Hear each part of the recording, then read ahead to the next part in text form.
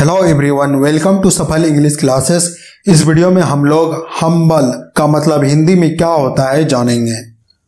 Humble का हिंदी में मतलब साधारण, घमंडी नहीं, सादा, सादगीपूर्ण, नर्म, विनर्म, विनित, सविनय होता है। यानी ऐसा कोई व्यक्ति जो यह नहीं सोचता है कि वह दूसरे लोगों से बेहतर है या अधिक महत्वपूर्ण है तो ऐसे व्यक्ति के लिए इंग्लिश में हम्बल वर्ड का यूज़ किया जाता है।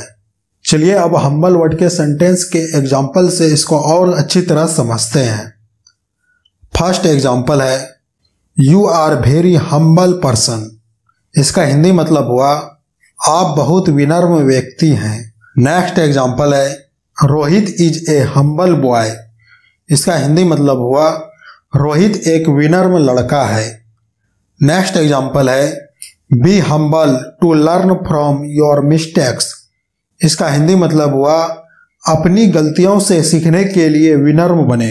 नेक्स्ट एग्ज़ाम्पल है she become very rich and famous but she always remained a very humble person इसका हिंदी मतलब हुआ, वह बहुत अमीर और प्रसिद्ध हो गई, लेकिन वह हमेशा एक बहुत ही विनर्म व्यक्ति बनी रही।